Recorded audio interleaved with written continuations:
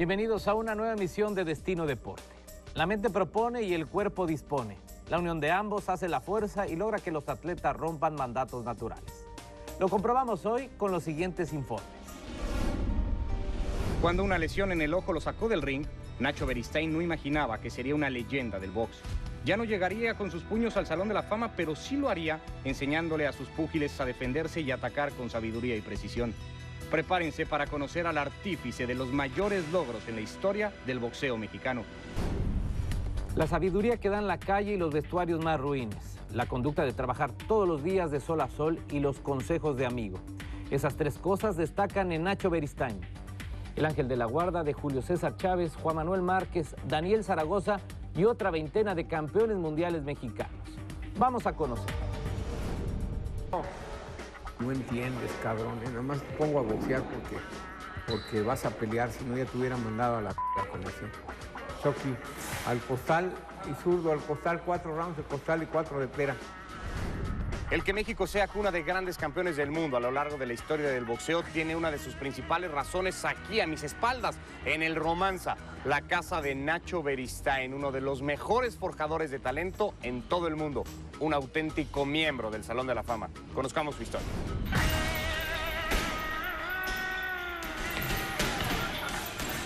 Pon este pie para acá. A ver si le puedes ayudar a que se lo quite, pues es muy necio el cabrón. Fíjate lo que están haciendo, no, no, no camines nada más y brinca para adelante y para atrás, sí, en línea recta y luego en círculo.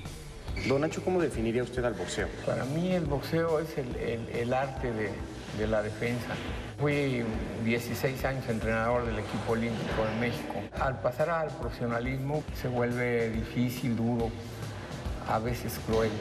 ¿Lleva usted el registro de cuántas peleas o en cuántas peleas ha estado en la esquina? Me gusta recordar que he tenido 25 campeones del mundo. No me pongo a pensar las peleas, ¿no? Que tengo, pero calculo yo entre, entre 140 y 150 peleas de campeonato del mundo. Entró al Salón de la Fama en la generación, digamos, o al mismo tiempo que dos peleadores de la talla de Tyson y de Chávez. Dice mucho de lo que es Nacho Beristain como manager. Pues sí, pues yo creo que está bien que lo diga otra gente y no yo. Nosotros nos debemos a la gente que de alguna manera ama el box y que paga un, un boleto.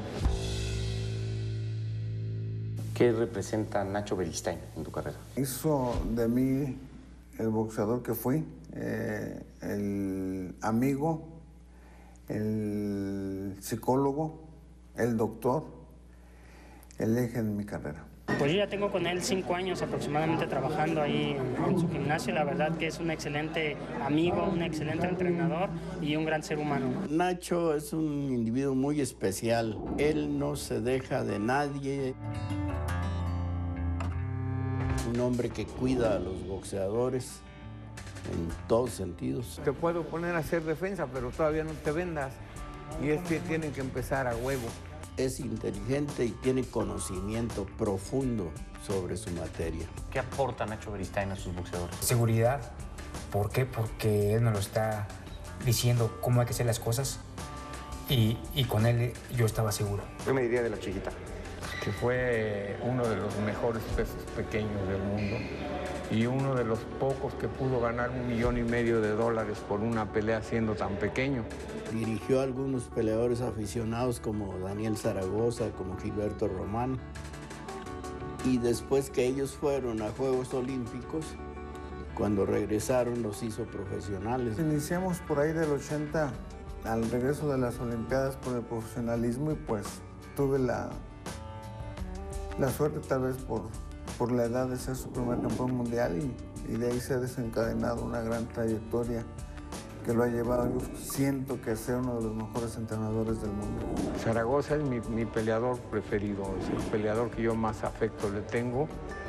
Recorrimos todo el mundo porque él ganó el título fuera de México. o sea, todos mis peleadores han ganado el título fuera de México porque aquí no hay apoyo. Juan Manuel Márquez. Pues creo que es el máximo peleador que ha, ha surgido de este gimnasio. Tiene mucho que ver el éxito de Márquez con lo que le eh, ha enseñado este Beristain, con lo que le, le ha aconsejado, con lo que lo ha cuidado. Julio César Chávez. El, el mejor peleador que México ha dado al mundo del boxeo.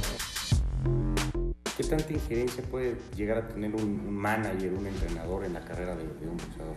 Yo creo que es la base para para el éxito. Si no hay química, no se llega a nada. Él me ayudó a, salir de nueva cuenta del boxeo después de una derrota que venía, venía muy lastimado. Él, él me ayudó a superarme, él ayudó a superar esa derrota y de nuevo me llevó a una conquista de título del mundo. ¿no? Yo creo que es una persona que, que tiene mucho, mucho que dar al boxeo mexicano. A la hora de estar entrenando, él me comentaba, mira, este cuate se va a caer en el sexto round, pero en el ocho va a tener una reacción era como una película de una pelea que todavía no se hacía, la, su planeación de la pelea.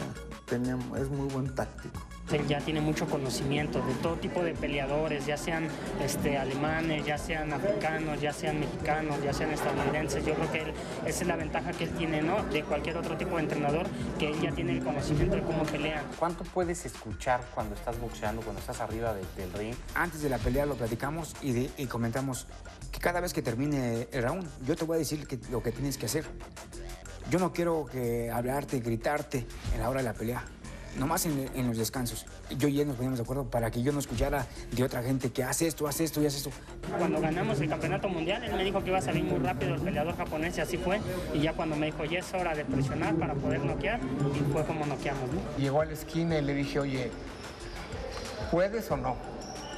Y como lo conozco, que es volcánico, le digo, sí, sí puedo. Bueno, pues entonces tira golpes, porque él ya hizo todo su esfuerzo. Rífate este round. Cuando venía el otro le metió un gancho, una derecha, lo siguió otra derecha y lo sacó del ring. Para usted, ¿dónde es donde más destaca Nacho Beristain? Yo creo que en la disciplina.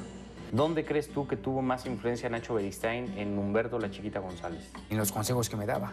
Siempre me decía, hay que prepararse, hay que ir a correr y no vayas a mentir, porque te digo que corras tanto y no vas a correr menos, como otros. Pero dije, no, yo siempre entendía muy bien. Los entrenamientos son muy pesados, pero si uno lo hace con trabajo, con amor, con cariño, con querer salir adelante dentro del boxeo y querer ser campeón del mundo, yo creo que todo se puede hacer fácil. Don Nacho, pues una persona estricta. Si estás arriba del ring, estás trabajando. Estás en los aparatos, estás trabajando. No le gusta que, que estés este, platicando, que en el ring lo agarres de luchitas. Órale, dejen de platicar. No le tires a la mano, tírale a pegar. Esta mano aquí, aquí, los codos aquí, no aquí. Aquí no te sirven de nada los codos. Le dices a tu papá que te compre unos guantes de piel, esas mamás no sirven. Tíraselo a pegar, chinga. ¿Qué no entiendes? O te sales, te va a hacer marro. Tiempo. Tienen que tirar el jab duro. ¿eh?